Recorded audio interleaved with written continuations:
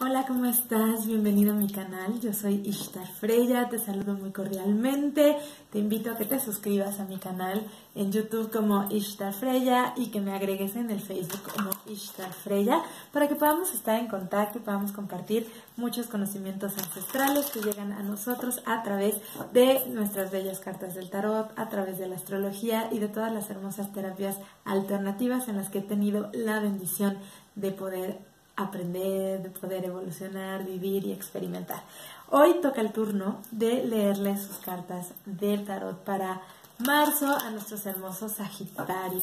A ver, Sagitario, cuéntenme qué pasa, ¿eh? Hace tiempo que no tengo mucho contacto con Sagitarios y antes eran... Eh, pues un signo que me buscaba mucho para el tarot y así, no sé, últimamente han estado muy ocupados o han estado muy pues en sus cosas, resolviendo asuntos, no lo sé, pero no he tenido tanta respuesta ahora de los Sagitarios, así que mi querido Sagitario, si me estás viendo, pues cuéntame, ¿cómo vas? ¿Cómo ha ido todo fluyendo? ¿Cómo te sientes? ¿Cómo, cómo va todo tu trabajo, tu vida?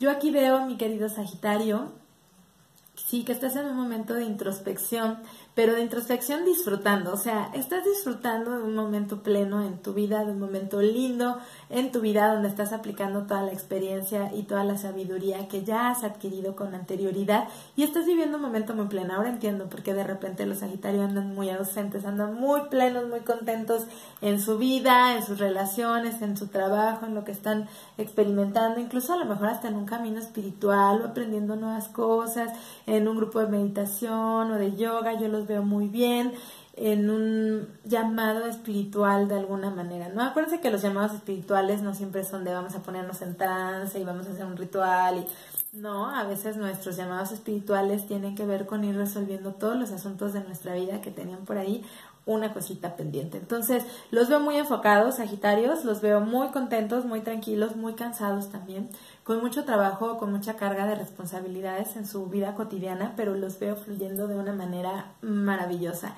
Así que ni te detengas, tú sigue, sigue, sigue, avanza porque estás logrando todas las metas que te has propuesto y por ejemplo todo lo que tú sembraste hace algunos años, tres, cuatro años, ahorita estás verdaderamente disfrutando de este éxito, de esta buena cosecha y me parece muy bueno que lo compartas, eh, que vayas compartiendo tus bendiciones con la gente que amas, con la gente que te ama. Es una maravilla. Así que bueno, vámonos directo con tu vida profesional, mi querido Sagitario.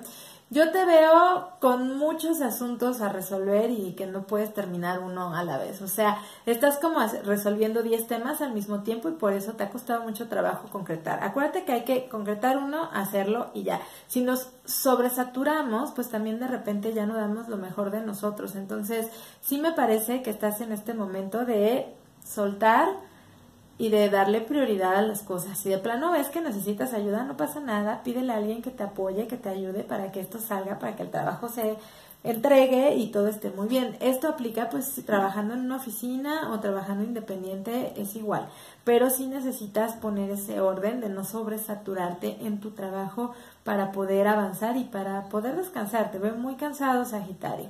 Así que bueno, vámonos también ahora con nuestros Sagitarios solteros. Bueno, Sagitario solterito de aquí para allá, de allá para acá, conociendo un montón de personas, saliendo con varias personas, varios prospectos, diferente gente que ha estado llegando a tu vida y que te está trayendo pues mucha felicidad total. Entonces, qué padre, disfruta, mucha fiesta estoy viendo, mi querido Sagitario.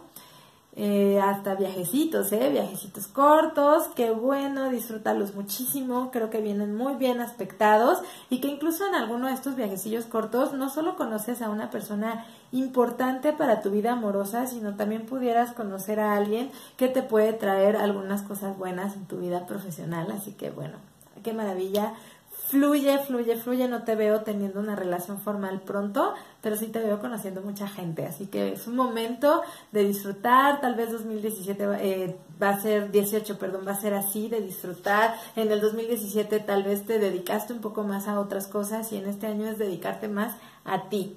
Aquellos Sagitarios que tienen pareja, que están casados o que viven con alguien o, o que no vivan con alguien, pero tengan pareja, yo los veo mucho más estables, trabajando mucho por mantener una estabilidad, una tranquilidad en el hogar, una tranquilidad en la relación. Los veo trabajando en equipo, un buen trabajo en equipo de, de parte de ustedes que los va a ayudar a que puedan cumplir todas sus metas.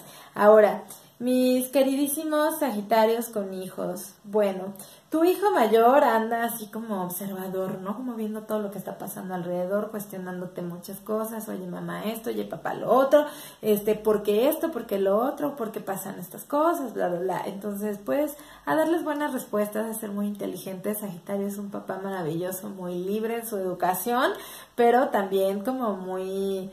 Eh, muy real, ¿no? Diciendo siempre la verdad. Entonces, pues así sigue tu hijo menor Sagitario lo veo jugando mucho, aprendiendo mucho, disfrutando mucho, eh, muy pleno, muy pleno porque está también descubriendo como cosas nuevas. Quizás está en este cambio de que entra del kinder a la primaria o apenas al kinder o a, la, a, la, guardería o al revés, está saliendo de la secundaria para entrar a la prepa o de la prepa para la universidad o terminando y graduándose. Entonces lo veo muy bien. Eh, tú, mi querido Sagitario, en tu salud, híjole, dolores de espalda. Has andado tan cansado, tan agobiado y con tanto estrés y todo que de verdad veo un gran pesar en tus hombros, en la espalda. Es muy importante que te relajes. Este cansancio crónico no es normal. Estás sobrepasándote en tu en tus capacidades físicas que puedes tú manejar. Entonces, no te queremos enfermo, cuídate y deja que todo vaya avanzando y fluyendo. Acuérdate que el trabajo ahí va a estar, todos los temas ahí van a seguir, pero en cómo nosotros los enfrentamos, ahí está la diferencia, ¿ok? No te satures, es muy importante, no te satures.